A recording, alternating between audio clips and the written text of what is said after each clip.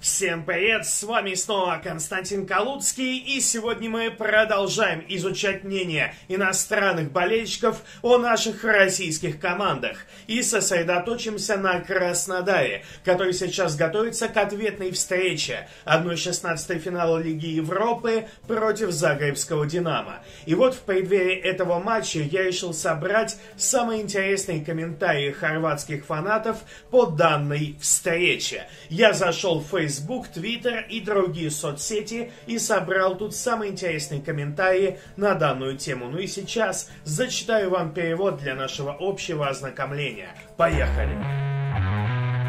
Если говорить о мнении хорватских фанатов, то оно, можно сказать, разделилось. Есть те, кто считают Загреб однозначным фаворитом, а есть те, кто относятся скептически к своей хорватской команде. А вот букмекеры, к сожалению, почти в один голос называют фаворитом именно хорватский клуб. Поэтому здесь Краснодар будет андердогом. Ну а если вы хотите поставить на эту встречу, то милости просим, есть замечательный сайт BaldBet, где вы можете не просто делать ставки, но можете еще и поучаствовать в очень интересной акции. Дело в том, что сейчас там проходят специальные ставки от букмекера. Вам предлагается поставить на определенный матч, сделать определенную ставку, и если она, что называется, зайдет, то вы в итоге в сумме можете получить до 17 тысяч рублей. В течение трех дней вам дадут три специальные ставки от букмекера, и вам, в общем-то, не нужно ничего платить, ничего ставить, вы просто можете получить деньги от компании BaldBet. Для того, чтобы поучаствовать в этой акции, вам нужно зарегистрироваться на сайте по ссылке в описании и в закрепленном комментарии, ну и там ввести промокод, который также указан в закрепленном комментарии и в описании к данному ролику. Поэтому дерзайте, вы ничем не рискуете, но можете заработать до 17 тысяч рублей с компанией BaldBet. Ну а мы переходим к зачитыванию хорватских комментариев. Что они здесь написали? Давайте узнаем. Никола Йованович. Если наша оборона будет ошибаться так же, как в первой встрече, то мы можем упустить наше преимущество. А если у Петковича не пойдет игра, то мы ничего не создадим в атаке. Наше преимущество очень шаткое. Ну, что тут скажешь. 3-2 на выезде это неплохой перевес, но в принципе 2-0, например, победа Краснодара на выезде, и вот, пожалуйста, мы уже проходим дальше. Поэтому здесь всякое может случиться. Ну и оборона у хорватов действительно так себе. Собственно, у Краснодара не лучше, но так или иначе. Шансы забить сопернику у нас точно будут.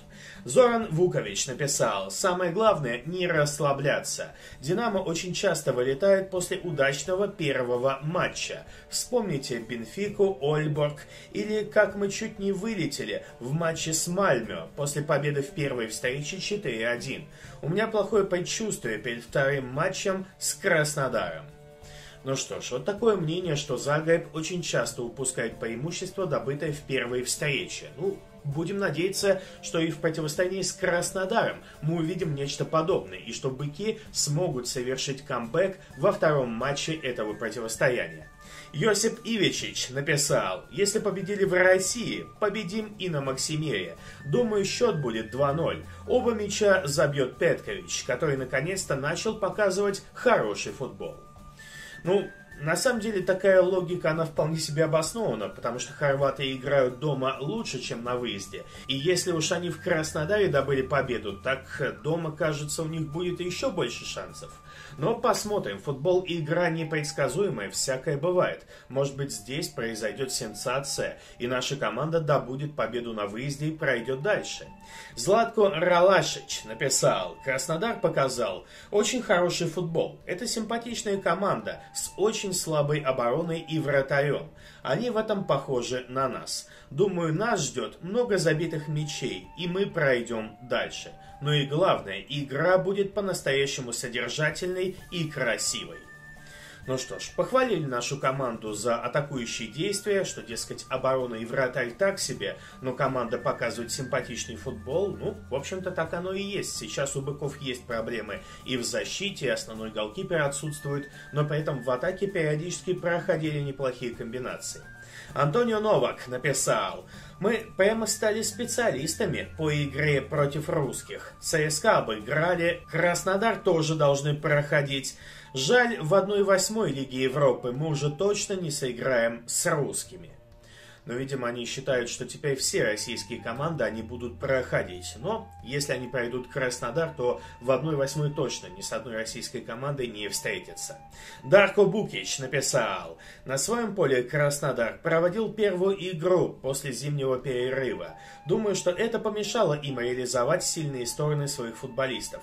В ответной встрече они будут намного опаснее. Ну, действительно, была первая игра после зимней паузы, поэтому, возможно, в ответке Краснодар покажет и более интересный футбол. Посмотрим. Горан Милошевич. В первой игре все сложилось очень удачно для нас. По игре мы мало в чем превзошли соперника. Их вратарь много ошибался, а нам в некоторых эпизодах просто повезло. Исход противостояния все еще не решен но тоже будем на это рассчитывать. Надеюсь, что в ответной встрече городов не будет так ошибаться и, возможно, удача уже улыбнется нам в каких-то эпизодах. Йозип Лешич написал «Жду нового шоу от Петковича. Пусть тренируется на русских командах. Ему еще предстоит забить русским за сборную в квалификации чемпионата мира».